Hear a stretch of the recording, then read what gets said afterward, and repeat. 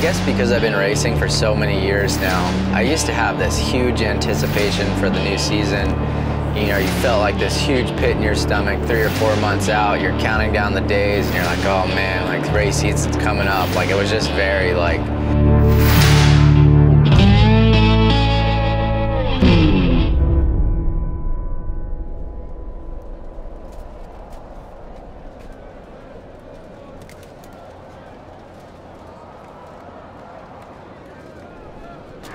Yeah, I remember like when I first started racing out here. At that time, Fontana was like, it felt like world champs. Like it was like the biggest like the pro race when I first started. I wasn't ever expecting to race anything really bigger than that. So it was like a, a big deal, man. Orange, black, or red? I've always done most of my preseason racing and stuff out here, so. Should we get to hiking? Hiking up, riding down. As your personal trainer, I would suggest that you pedal it. Uh, just gotta set tire pressure real quick. 27, Bang them over rocks. 2731. Huh? Yeah, man, no problem. All right, well, good luck this weekend. Yo, how are you, dude? Good. Good to see you. Hey, Good luck. thank you, brother. Appreciate it. How's it going, man? Good. How are you guys? Good. Tell me how we did on the course. Oh yeah, heck yeah. I'll let you know. Yeah, this place, man, like Donnie and his whole family, I mean, they've been here, I don't know, way before I started riding downhill, and they've been here the whole time I've been here, so they've kind of seen me progress from, you know, riding in jeans and like just being like this, you know, kid up here sending it. It's uh, pretty crazy, man. Like definitely made good friends and a lot of good memories and put in a lot of work out here pushing and riding up this road and down that hill good old fontana hike definitely gotta like earn your run.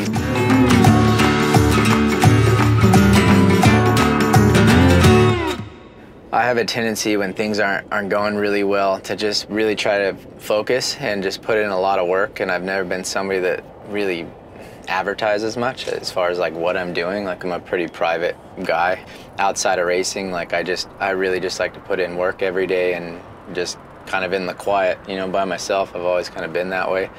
So I've been wide open with the training and all the stuff constantly. I just, you know, sometimes I think with social media, especially the last couple years, there's been like so much going on in the world that for me it's like kind of nice just to step away from that sometimes and I just kind of really like spending time with my friends and my family and, and just working hard every day and kind of just in my own little world.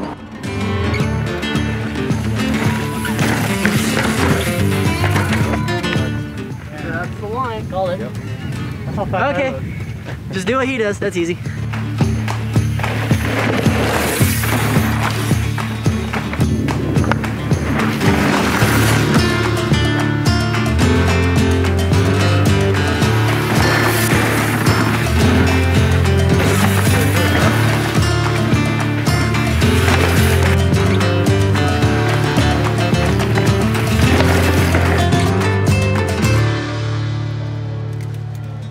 Whenever I'm met with like just really hard challenges and setbacks like we kind of have these last couple of years, I just always have the mindset to just to move forward, to problem solve, to figure out like, okay, like we are where we are.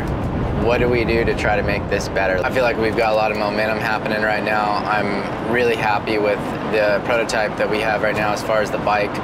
Uh, we were able to make some gains in some of the other areas of our equipment this off season. Um, we have the finalized race prototype coming out here in the next couple of weeks that I'm going to get on. So we're just really hoping that bike is going to be everything we're hoping for.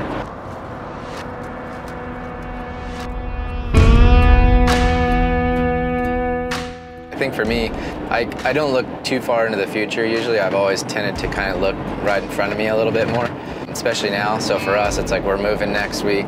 Um, yeah, it's a crazy change, man. I never thought I would probably move out of California full time, but just that's life, man. Big changes.